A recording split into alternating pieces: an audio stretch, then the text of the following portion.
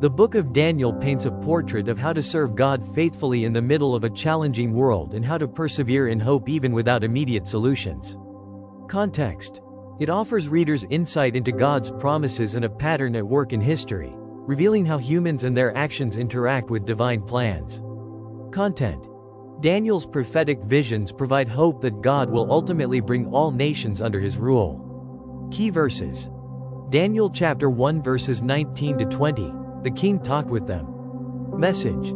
The book records the actions, prophecies, and visions of the prophet Daniel, emphasizing faith, obedience, and the ultimate sovereignty of God.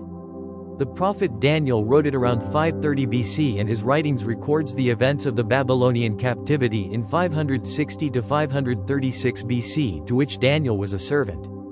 In chapters 1 to 6, Daniel writes about his own life in captivity. He was selected to work for the Babylonian king Nebuchadnezzar. Daniel, or his Babylonian name Belshazzar, and his friends made bold and tough decisions and several times displayed their integrity to stand for godliness instead of culture. They rejecting the king's food, prayed when it was illegal to do so, and refused to bow to the king's idol, for which they were thrown into a scorching furnace. Daniel interpreted the king's dreams twice then was promoted as chief over all the wise men in Babylon. Yet, through all the great things that Daniel did he claimed it was God that did it through him and he gave all the glory to God. It is he who reveals the profound and hidden things.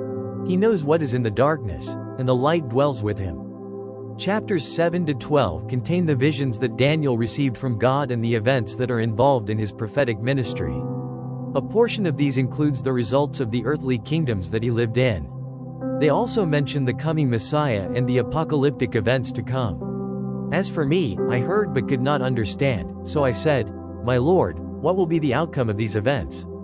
He said, Go your way, Daniel, for these words are concealed and sealed up until the end time. 12, 8 to 9.